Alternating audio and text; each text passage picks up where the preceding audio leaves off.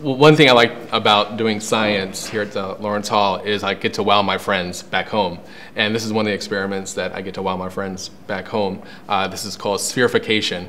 And I take this purple liquid, which has sodium alginate in it, and I take this clear liquid, which has calcium glutamate in it. And when they come into contact with each other, uh, something happens. Now, normally, when you pour one liquid into another, they'll mix. But that doesn't happen this time. So I'll take my liquid,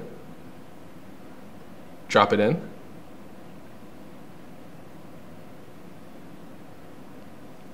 And it doesn't mix.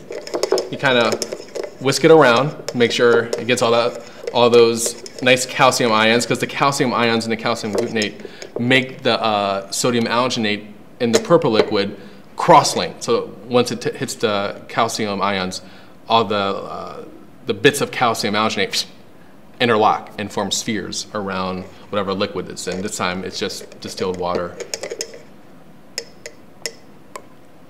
And you take it out.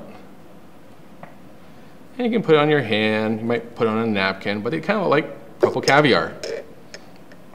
You can touch them, you can feel them, you can squish them. If, if I was making these fresh with uh, fresh water uh, or something flavored, you know, I'll just pop them in my mouth and they'll, they'll pop and It's, it's a lot of fun. You can do all sorts of flavors. And this is a, this is a fun party trick.